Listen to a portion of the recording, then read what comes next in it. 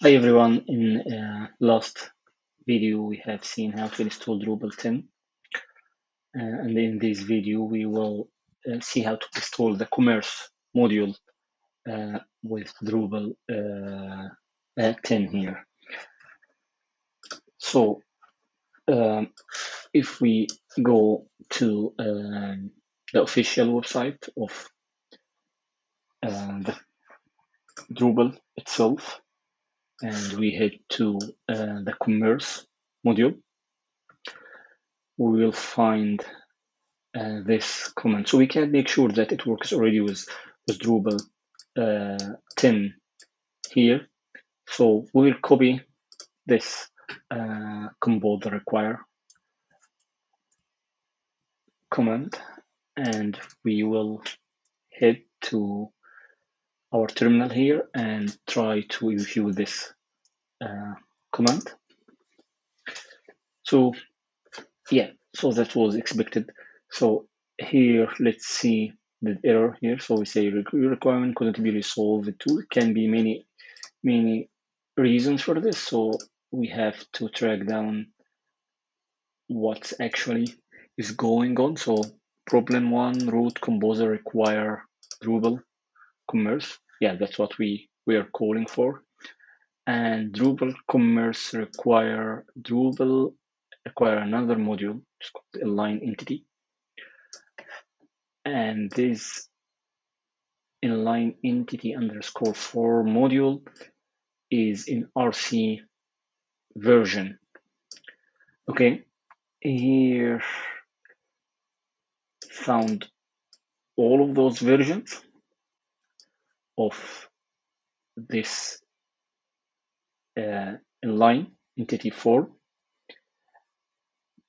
okay and he found but it doesn't match your minimum stability. So there is already versions that suitable uh, um, for this module but it doesn't match our minimum stability.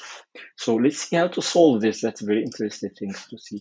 So if we go here in composer to JSON, we'll find the minimum stability uh, here attribute, and we can say just that for the purpose of uh, of the demo, but it shouldn't be that, like that best practice to upgrade this. So we will say it's there. Okay, let's head back to our command line now and try again to install thing. Okay, sounds like it's solved and we have the Drupal commerce already installed here.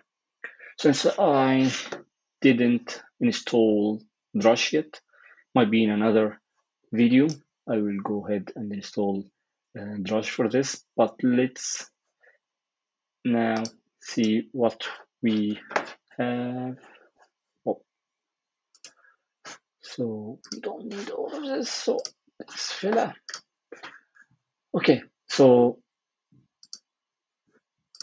now if I hit to uh, structure and sorry extend here and I go uh, in commerce. Yeah so I can find now the module being listed here as you can see. And I'll just select the commerce. Uh, yeah, I might need, of course, so I can select commerce or can just select the high level module here. It might be, I think, promotion, provide item manage promotion, product. So can select product. We might select cart, of course. I think check out means that we can see what this module actually depends on. So it depends on commerce product.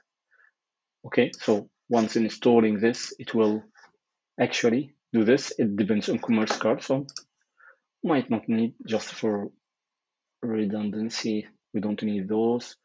So I think by installing the checkout will be good here. It has commerce store as well. Yeah so I just go ahead and try and say yeah it says give you like a message to telling you what actually is going to install. So we will go ahead and install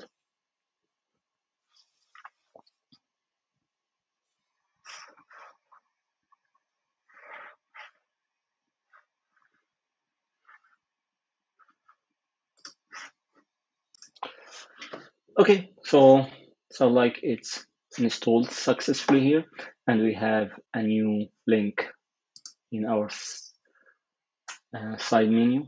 So if we go to commerce, we can have like line here. We can go to products, can add new products, and yeah, you need to create a store, of course, first.